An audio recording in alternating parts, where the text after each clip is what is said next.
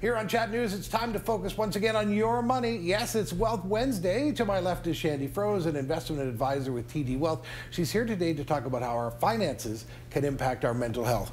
Now, this is something I've never even thought about before finances and mental health. And I know mental health is, is something that we all deal with, and financial uh, pressures and stuff are things that most people deal with. How did this topic come together for you? Yeah, absolutely. So, mental health is something that's really important to me. I've had several family members struggle with that.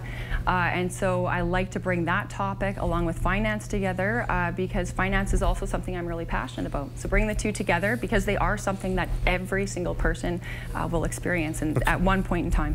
All right, so the two topics we need to talk about are subjective and objective stressors. So let's start with objective stressors. What are the objective stressors to watch out for? Okay, so yeah, there's there's several different things that will impact uh, your financial health and uh, your uh, mental health when you're looking at finance. Uh, and so objective stressors are going to be your uh, inability to meet current financial obligations. Okay. Okay. And so things like you have a high debt level, and so inability to maybe make minimum payments uh, or manage household expenses, uh, or maybe struggling to save for long or short-term goals. So many things we can do to kind of help with those things, but I'll give you two. Uh, the first is financial mindfulness. So we want to make sure we're taking stock of our overall finances and look at what do we have coming in and what do we have going out out. And so when we can better understand where we're overspending, we can kind of make some headway. And so there's lots of things that you can do to gain that financial mindfulness. Um, there's apps out there now which are super handy. I like to do mine manually, and so I have an Excel spreadsheet. Right. I will look at every single week, and I look to see, okay, where am I overspending, and and what other category can I reduce, so I can still make sure I'm on my my I, I guess roadmap to my goal. Uh, the second piece is education. And so okay. this can be a bit more daunting. Uh, sometimes people don't know what questions to even ask. And so uh, lots of resources, though, we can go online. The Government of Canada website actually has some really good resources to show you how to pay down debt, uh, also how to build a budget, lots of different things. Um, one thing we often forget, though, is that we all have bank accounts. We mm-hmm. all deal with a financial institution. Utilize them. So make an appointment with a personal banker. You can get them to review your finances even if you don't know the questions to ask, you can ask them to educate you, give yeah. you a banking 101 course. And so they can actually go through and explain things to you and see if maybe you can consolidate debt. Maybe you're overspending here. So they can give you some advice, so utilize them.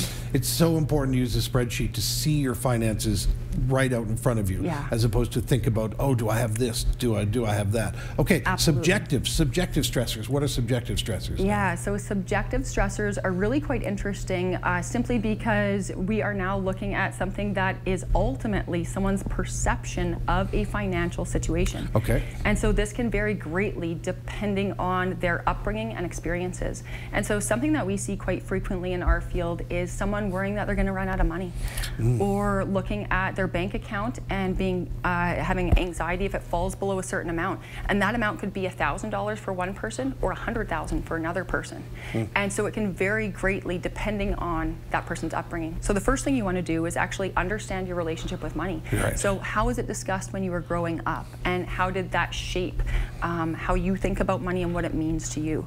And so for me, growing up, um, money wasn't really discussed, and my dad's motto was easy come, easy go. And so okay. for me and my personality, yeah. that causes me anxiety to think of it that way. So I educated myself and I was mindful about my money. And I understand that that upbringing, um, money to me means security.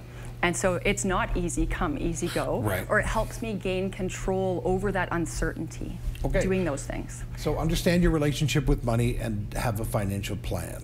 Yes, the financial plan is huge. So I can't stress this piece enough uh, because the plan really gives you peace of mind. So when we've got clients that are worried about running out of money, or maybe they get a big expense and they think uh, maybe their windows need to be replaced or something, and they think, can I afford that? Yeah. The plan gives you that answer and the peace of mind. So it takes the stress out of it, and so that we can actually see how does that impact your plan, or how can we make it work so that we can adjust things. And so it just reframes it and gives you control control over your financial future.